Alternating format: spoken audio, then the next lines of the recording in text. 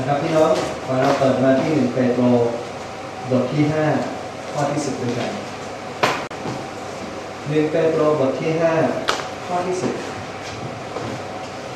นี่ยังเป็นข้อพระคัมภีร์ที่มีคำว่าในพระคริสต์ข้อพระคัมภีร์ที่มีคำว่าในพระคริสต์จะบอกให้เราได้ทราบว่าเราเป็นใคร เรามีสิ่งใด และเราสามารถทำสิ่งใดได้บ้าง จนถึงวันนี้เราได้เรียนรู้ไปหลายข้อแล้ว แล้วผมเชื่อว่าในขณะที่เรากล่าวถ้อยคำเหล่านี้ ตลอดทุกๆวันให้กับชีวิตของเรา ชีวิตเราจะไม่เหมือนเดิมเลย เราจะเติบโตขึ้นในทางขององค์พระผู้เป็นเจ้านหนึ่งเปโตรบทที่ 5 ข้อที่ 10 ได้กล่าวไว้ว่าและเมื่อท่านทั้งหลายได้ทนทุกข์อยู่ชั่วขณะหนึ่งแล้ว พระเจ้าผู้ทรงพระคุณล้ำเลิศผู้ได้ทรงเรียกให้ท่านทั้งหลายเข้าในศักดิ์ศรีนิรันดร์ในพระคริสต์ พระองค์เองก็จะทรงโปรดปรับปรุงท่านให้มั่นคงและมีกำลังขึ้นพระคัมภีร์บอกว่าในพระคริสต์พระเจ้าได้เตรียมศักดิ์ศรีนิรันดร์ให้กับเราแล้ว วันนี้ผมขอพูดถึงคนที่มีศักดิ์ศรีนิรันดร์นะครับ คนที่มีศักดิ์ศรีนิรันดร์จะมีลักษณะแตกต่างจากคนที่แสวงหาศักดิ์ศรีในฝ่ายโลก แต่ก่อนอื่นที่ผมก่อนที่ผมจะไปพูดเรื่องนั้น ผมขอพูดเรื่องนี้ก่อนนะครับ ขึ้นต้นประโยคได้กล่าวไว้ว่าและเมื่อท่านทั้งหลายได้ทนทุกข์อยู่ชั่วขณะหนึ่งแล้ว และลงท้ายว่าพระองค์เองก็จะทรงโปรดปรับปรุงท่านให้มั่นคง และมีกำลังขึ้น ดูเหมือนว่าหลายคนจะเอาข้อนี้ไปตีความว่าพระเจ้าทรงใช้ความทุกข์ปรับปรุงเราให้มั่นคง บางคนสรุปว่าพระเจ้าทรงใช้ความทุกข์หรืออนุญาตให้ความทุกข์เข้ามาในชีวิตเรา เพื่อจะปรับปรุงชีวิตของเรา หรือทำให้เราเติบโตฝ่ายวิญญาณ มีใครเคยได้ยินแบบนี้บ้าง ผมมีคำถามนิดนึง ก่อนคุณเป็นคริสเตียน คุณเคยมีความทุกข์ไหม แล้วคุณโตฝ่ายวิญญาณไหม ถ้าพระเจ้าให้ความทุกข์เข้ามาในชีวิตเพื่อปรับปรุงชีวิตเรา เท่ากับว่าในเวลานี้คนทั่วโลกที่ไม่ได้เป็นคริสเตียนกำลังได้รับการปรับปรุงขนาดใหญ่เอเมน นั่นหมายความว่าทุกคนในเวลานี้ที่ไม่ได้เป็นคริสเตียน ที่เขากำลังมีความทุกข์อยู่ เขากำลังเติบโตฝ่ายวิญญาณและบางคนเติบโตยิ่งกว่าเราปัญหาที่เกิดขึ้นในชีวิตไม่ได้เป็นสัญลักษณ์ของการเติบโตฝ่ายวิญญาณพระเจ้าไม่ได้ใช้ปัญหาเข้ามาเพื่อปรับปรุงอะไรเรา แต่การตอบสนองต่อปัญหาในทางของพระเจ้าต่างหากที่จะปรับปรุงเราให้เข้มแข็งขึ้นเอเมน อาผมขอย้อนกลับมาพูดถึงเรื่องของศักดิ์ศรีนิรันดร์ในพระคริสต์สัปดาห์ก่อนนู้นเราได้สอนไปแล้วถึงเรื่องศักดิ์ศรีนิรันดร์พระเยซูคริสต์เองพระองค์ไม่ทรงแสวงหาเกียรติหรือศักดิ์ศรีที่มาจากมนุษย์เพราะอะไรครับก่อนพระองค์เสด็จมาเป็นมนุษย์พระองค์เป็นพระเจ้าอยู่แล้วพระองค์ทรงเต็มไปด้วยศักดิ์ศรีและเป็นศักดิ์ศรีนิรันดร์และในขณะที่พระองค์ทรงสละและเสด็จมาบังเกิดเป็นมนุษย์พระองค์ไม่ได้สูญเสียศักดิ์ศรีนั้นไป พระองค์ยังทรงมีศักดิ์ศรีนั้นอยู่ นี่คือสาเหตุที่พระองค์ไม่แสวงหาการยอมรับจากมนุษย์ พวกเรานะครับกำลังแสวงหาการยอมรับจากมนุษย์อยู่หรือเปล่า อันนี้เป็นสิ่งที่เราจะต้องสำรวจตัวเราเองเอเมน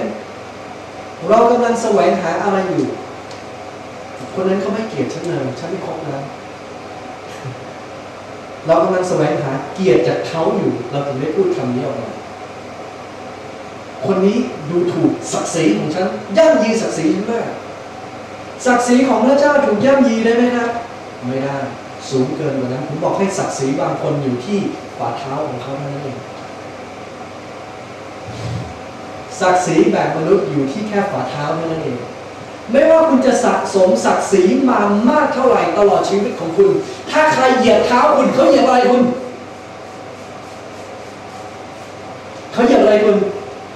ศักดิ์ศรีของคุณ มีคนที่ผมรู้จักคนหนึ่ง มีชื่อเสียงในวงสังคมมาก มีศักดิ์ศรีมาก เกิดมาในชาติสกุลที่ดี แต่วันหนึ่งเจออีกคนหนึ่ง เหยียบเท้าเข้า เหยียบอะไรครับ ศักดิ์ศรีของเขาศักดิ์ศรีของมนุษย์เนี่ยต่ำมากเห็นไหมและในวันนั้นเขาต้องลดศักดิ์ศรีลดตัวไปต่อยกับอีกคน ศักดิ์ศรีของมนุษย์มีแค่นี้แหละมีไว้เพื่อยกตัวเองขึ้นแล้วเหยียดคนอื่นลงนี่คือสาเหตุพระเยซูตรัสว่าเราไม่สวงหาศักดิ์ศรีของมนุษย์ศักดิ์ศรีของมนุษย์สามารถร่วงโรยได้ เพียงแค่ช่วงข้ามคืนมีบางคนที่เราอาจจะรู้สึกนับหน้าถือตา อาจจะเป็นผู้หลักผู้ใหญ่แต่วันรุ่งขึ้น เขาอาจจะไปปรากฏอยู่ที่ข่าวหน้าหนึ่งก็ได้ เพิ่งใช้บริการทางเพศกับเด็กหญิงอายุไม่ถึง 15 มีไหม ศักดิ์ศรีแบบมนุษย์สูญสลายเพียงแค่ชั่วข้ามคืนเท่านั้นเอง แต่ศักดิ์ศรีแบบพระเจ้าคือศักดิ์ศรีที่ไม่มีวันร่วงโรย คนที่รู้ว่าตัวเองมีศักดิ์ศรีแบบพระเจ้าแล้วจะไม่พยายามแสวงหาศักดิ์ศรีแสวงหาการยอมรับจากมนุษย์แต่เขาจะรู้ว่าเขาได้รับการยอมรับแล้วจากพระเจ้า และเขายอมรับตัวเองในฐานะบุตรของพระเจ้าและตลอดเวลาที่เขาดำเนินชีวิตเขาจะมองหาทางที่จะยกคนอื่นขึ้น ไม่ใช่กดคนอื่นลง ถามตัวเองว่าคุณเป็นคนนั้นหรือเปล่า ที่มั่นคงในศักดิ์ศรีนิรันดร์ที่พระเจ้าให้ แล้วคุณตัดสินใจว่าวันนี้ฉันจะมองหาใครสักคน ที่จะยกชูเขาขึ้นเห็นไหมฉันจะหาใครที่โดนดูถูกมาตลอดชีวิต แล้วไปยกชีวิตเขาขึ้น ทุกวันที่ตื่นมาทูลขอพระเจ้า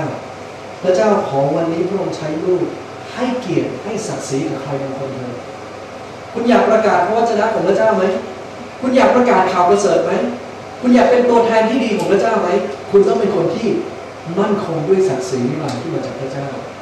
ไม่ต้องแสวงหาศักดิ์ศรีแบบมนุษย์เลยเห็นไหม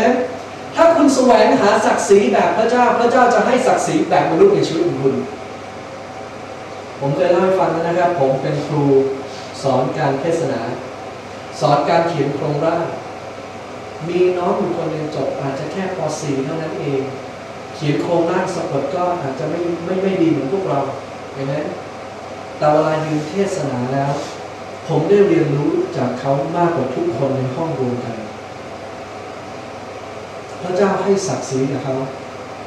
และศักดิ์ศรีของพราสำแดงผ่านคำเทศนาของเขาเห็นไหม มีคนมากมายที่จบปริญญาเอกทางการเทศนา คุณไปนั่งฟังภายใน 5 นาทีคุณหลับคุณหลับแน่นอน เอเมนแสวงหาศักดิ์ศรีของพระเจ้า แต่ผมไม่ได้บอกว่าห้ามเรียนจนจบปริญญาเอกนะเรียนไปให้มากที่สุดเท่าที่ใจคุณปรารถนาเอเมนแต่ให้ตระหนักว่าคุณมีสิ่งที่ดีกว่านั้นอยู่ข้างในคุณเองแล้วมีนักเทศน์หลายคนที่ผมฟังนะครับ บางคนจบม .6 ส่วนใหญ่จบม .6 แต่บางคนเป็นด็อกเตอร์ ผมได้ฟังนักเทศน์ที่เป็นด็อกเตอร์ แล้วเต็มไปด้วยพระสิริของพระเจ้า ไม่ต่างอะไรกับคนทั้งหลายที่ผมฟังเป็นประจำเลยเอเมนงั้นเรื่องการศึกษาภายนอก หาให้มากที่สุดเท่าที่จะเป็นไปได้ ตามใจปรารถนาของคุณ แต่ขณะเดียวกันให้คุณแสวงหาสิ่งดีๆ ที่พระเจ้าใส่เข้ามาข้างในคุณ เพราะสิ่งนั้นแหละที่จะล้นออกมาจากชีวิตคุณ ให้คนอื่นสัมผัสได้เอเมน พี่เปียกเชื่อไหมว่าพระสิริของพระเจ้าสามารถเปลี่ยนพี่เปียกได้ ให้วันนึงเป็นนักเทศที่ตัวยายิ้มตัวอยากให้วันนั้นเป็นจริงเนอะเป็นจริงได้นะครับ เป็นจริงนะผมไม่เคยคิดว่าผมจะมาทำแบบนี้เหมือนกันผมคิดว่าผมจะนั่งแล้วก็ฟังเขาไปตลอดชีวิตนไหมแต่เมื่อเราสอบแสวงหาทางของพระเจ้า ข้างในมันจะชัดเจนมากขึ้นเรื่อยๆแล้วเมื่อเราตอบสนองแล้ว มันจะยิ่งชัดยิ่งชัด แล้ววันนั้นจะมาถึงเป็นวันที่พี่เปียกสามารถออกไปประกาศตามที่ต่างๆวางมือคนเจ็บคนป่วยเอเนเผยพระวจนะด้วยเอเน